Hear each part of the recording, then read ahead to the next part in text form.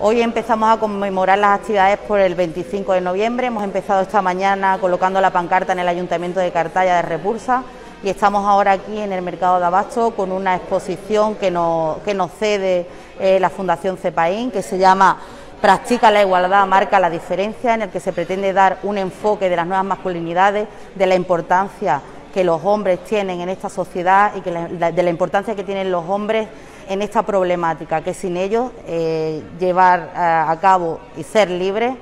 es difícil. Esta campaña va eh, relacionada con esa prevención, es decir, que los hombres podemos hacer muchas cosas desde el ámbito cotidiano, doméstico, familiar, en las relaciones con los amigos, también desde las empresas, desde las entidades en las que trabajemos, desde la administración pública. Podemos hacer muchas cosas en la vida cotidiana, en las relaciones cotidianas, que puedan ir cambiando la, percepción que se tiene de la relación de los hombres con las mujeres. Y la percepción que nosotros tenemos también de lo que son las tareas propias de las mujeres, las funciones propias de las mujeres, que no son tales, sino que todos tenemos que, convivir en un mundo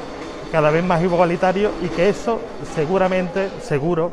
va, va, a ser un punto importante para la prevención de conductas violentas, que desgraciadamente cuando se llega ahí no queda otra cosa que actuar con la ley. Pero es que no queremos llegar ahí, queremos que esto se pare, que esto se, solucione y poner nuestro garito de arena para que